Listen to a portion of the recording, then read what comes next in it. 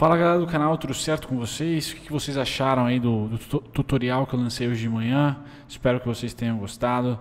Eu hoje vou comentar nesse vídeo aqui sobre a Unicasa, que é uma ação um pouco egoísta, que é uma ação pela qual eu tô de olho, né? Então aqui não foi nenhum pedido de vocês, eu mesmo que vou tagarelar aqui uma vez ou outra, posto um conteúdo sobre a minha a opinião pessoal aqui, né, que está no meu radar, por exemplo.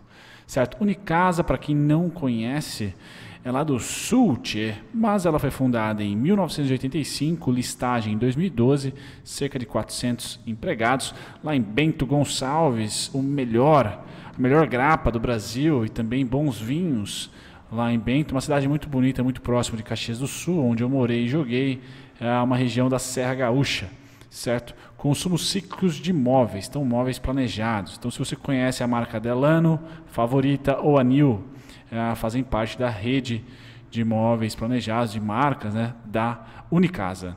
Certo? Novo mercado, 100% tag-along e um free float bem equilibrado.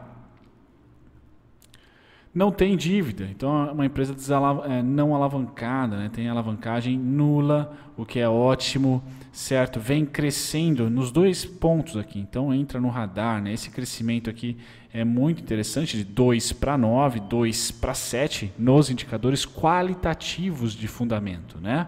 Interessante, sai de um prejuco para lucratividade. Tá? Então, isso é bacana. Lógico que do ano, do ano 17 para o ano 18, né? 2017 para 2018, pessoas bem informadas aqui provavelmente já devem ter aportado, né? Alasca, não sei quando que foi o Alasca, quando que foi que eles aportaram, mas enfim, tem fundos aqui nessa empresa. Mas nós, Sardinhas, né? eu, Sardinha, estou de olho nela hoje, em 2019 para 2020. Bom, bacana. Passando aqui para mais informações, então ela faz parte da indústria, comércio, prestação de serviços, importação e exportação de produtos. Então, se você vê oportunidade na madeira, móvel planejado, brasileiro, dólar nas alturas, beneficia uma parte sim da receita da Unicasa. De produtos, exporta né, produtos relacionados ao ramo imobiliário, mobiliário, planejado e modulado de madeira, ferro, aço, alumínio aço e alumínio não para os Estados Unidos, né? Porque está difícil. E outros materiais. Valor de mercado dela, uma micro cap aqui, uma smallzinha, a 310 milhões, tá certo? Quem está no papel? Temos aqui pessoa física, pessoa física, pessoa física, física, física, física e o Alasca, pum, com quase 10%. Então, uma participação bacana. Quem que é o cidadão da, do RI é o Gustavo, fale com ele. Gustavo.d arroba. Fundamentos para ela, é uma ação que sai do prejuco, entra na lucratividade, então PL abusivo, mais um preço valor patrimonial ok. Então aqui ela me dá um ok nos indicadores de preço. Tá? Já nos qualitativos vem subindo. Tá? Quem sabe não beija aqui os dois dígitos, bem como a sua margem também muito próxima. Então, legal. Esse casamento dos qualitativos é que colocam ela no meu radar. É, o mercado de atuação também é interessante. Então, se a construção civil está subindo, certo? Todas as ações da construção civil estão querendo aí apontar o ciclo de construção civil ah, pode estar tá começando de alta e eu logo penso nos serviços que isso pode alavancar e, logicamente, imóveis planejados pode vir a ser beneficiado como segunda linha. Então, sobe construção civil, sobe serviços conectados, e aí uh, tem essa, esse parênteses que eu estou fazendo aqui, tá certo? Lucrativa no último tri, lucrativa no último ano.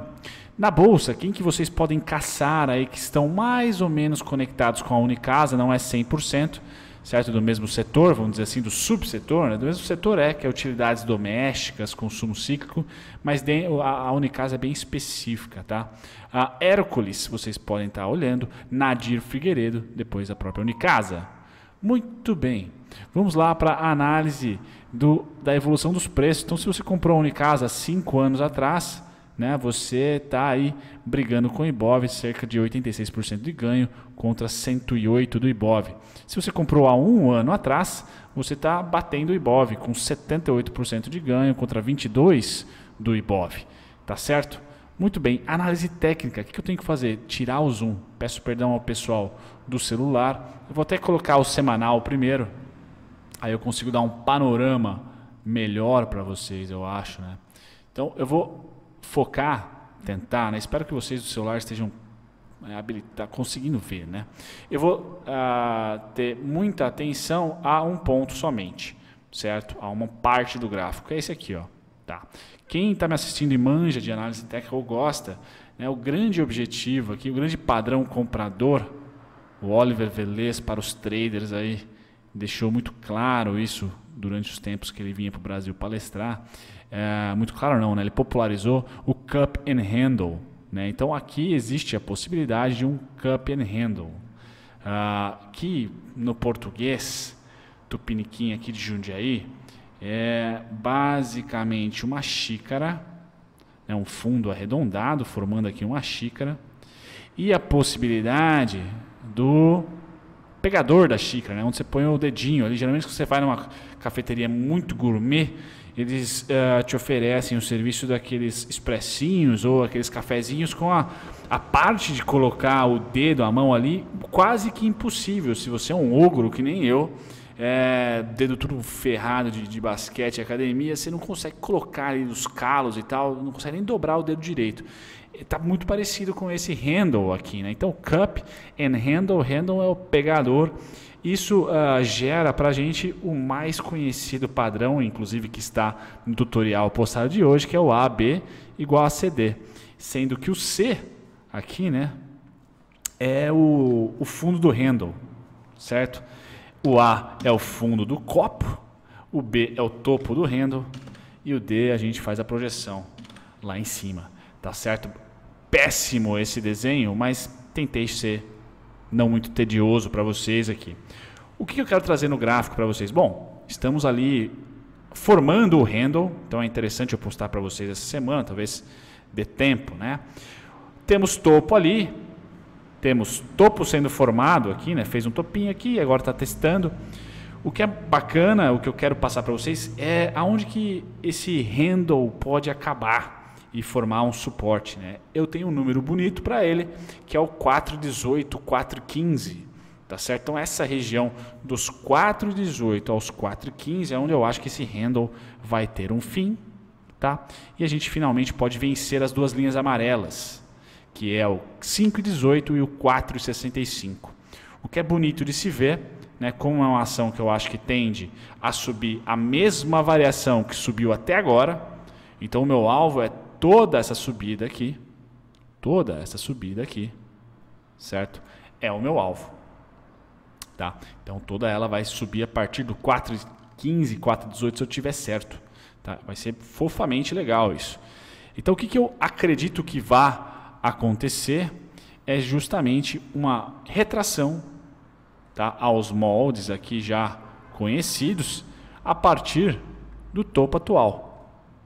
Tá? Temos a digna LTA Mandrake do canal, já está posta aqui, tá certo? Então essa é a LTA que está ditando para mim a volatilidade ou as oscilações, chame como quiser Tá? Preço de baixo para cima é resistência, rompeu, pumba, suporte. Se vier de novo, suportão. Tá certo? Bem zigue-zagueado, mas é um suportão ali. O que é bonito para tendência seria sempre, né, de livro, seria o preço vencer essa região aqui, 5,18, tá? Vence, eu não tô, não tô nem aí para esse topo aqui, ó. Ele não significa nada para mim. Agora, 5,18 a 4,65 é treta. Então, essa região vencida das duas linhas amarelas, tá? E agora verde, né? E o reteste de cima para baixo. Só que como é uma ação que não tem aquela liquidez fabulosa, ela pode simplesmente fazer isso aqui, ó. Bom, de uma vez só, tá certo?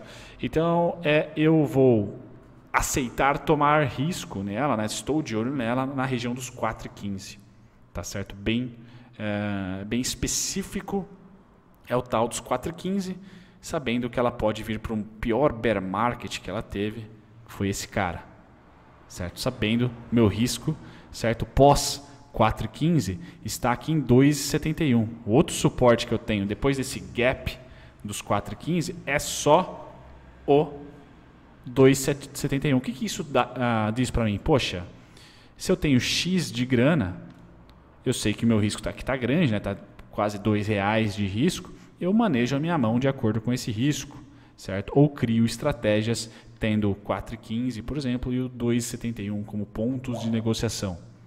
Tá? Bom, feito isso, né, eu trago para vocês LTA, ponto de suporte e as linhas amarelas como principais tretas onde o preço pode lateralizar. Lembrando que ela tem sim uma característica que por falta até de liquidez de lateralização. Então esse, esse próximo retângulo, esse retângulo aqui pode se repetir nessa região. Tá? Não vejo problema nenhum. Ah, o que eu acredito é que vai, com certa dificuldade ela vai é, pouca probabilidade melhor, eu acredito que ela vai descer nos quatro reais, por exemplo. É, eu vejo dificuldade ali, tá? Então eu estou de olho nessa região, já tem um alarme meu ali, tá? Fofamente preparado, tá certo? Qual é o segundo alvo que eu tenho a não ser toda essa subida? Né? Essa subida tem cerca de essa subida está com cerca de R$ 3,50, vamos por aí, tá? R$ 3,50, R$ 4,00. O outro alvo que eu tenho é simplesmente esse pullback. Tá? Ele se repetiu aqui, fez uma migué. Então é ele que eu vou pegar esse, essa demanda, certo? E vou plotar, por enquanto está plotado aqui, ó. Bom. Tá? 6,17 é um alvo intermediário, o outro 7,6, finalizando 8,34. Como eu falei, dobrando, dobrando de valor. É essa expectativa, perdão o barulho, que eu tenho para ela, tá certo? Perdeu uma falta de zoom, ficou difícil para mim porque tem muitos dados, mas a ideia é classificar uma região aqui de suporte, depois de lateralização e a grande bonança vem se o fechamento ocorrer acima dos 5,18. Aí nós vamos até os 7,6. Eu acho com certa facilidade, com um pequeno pit stop no 6,17. Feito isso, um grande abraço, até o próximo vídeo. Tchau, tchau. Muito bem, muito bem. Se você ficou até o final, só quero compartilhar aqui um feedback, né? Não é sempre que eu recebo feedback, porque eu não sou um cara muito profissional no quesito marketing, mas às vezes aparece um e-mail ou um Instagram, uma DM, e hoje apareceu aqui no TradingView, né, por mensagem, o JC Varicchio, ou Varicchio. Muito obrigado, José Carlos, provavelmente deve ser o seu nome. Agradeço pelo feedback deixado aqui no inbox do Trading View. Acabei de fazer, estava acabando aqui o vídeo do, da Unicasa. Agradeço bastante. Valeu mesmo. Obrigadão.